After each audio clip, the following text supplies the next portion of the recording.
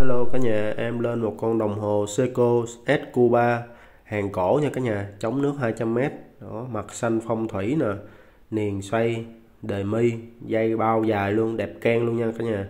Sản xuất tại Nhật nha, hàng siêu hiếm đây. cái hỏi cái niền thôi rất là đẹp luôn, đề mi nè, niền cũng có đề mi luôn, tăng đưa độc lạ nha.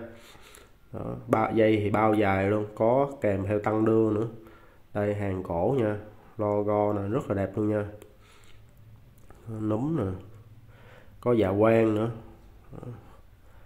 Việc uh, mặt hai lòng nha. Có uh, cọc số la mã nữa nha. Rất là đẹp luôn. Con này mà không lấy rất là tiếc nha cả nhà. Đó, đẹp can luôn. Lâu lâu mới có một con nha. Phơm cũng mỏng size 38 chưa núm nha.